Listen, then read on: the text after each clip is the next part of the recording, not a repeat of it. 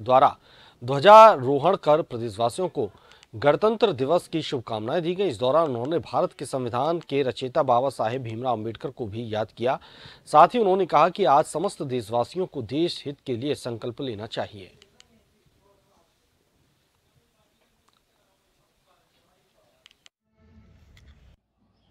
आज के शुभ अवसर पर चौहत्तरवें गणतंत्र दिवस के उपलक्ष्य पर आप सबको, हर भारतीय, हर हर प्रदेशवासी को आज के गणतंत्र दिवस की शुभकामनाएँ और हार्दिक बधाई।